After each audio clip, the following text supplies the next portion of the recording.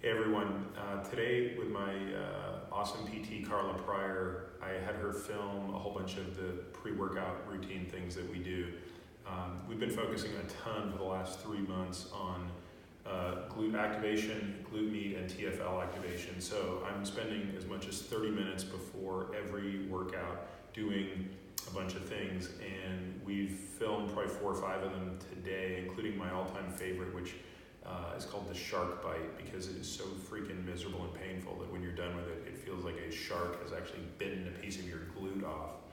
Um, so we will link to them in Instagram and we'll uh, probably uh, splice them all together on YouTube as a single video. Hope you enjoy.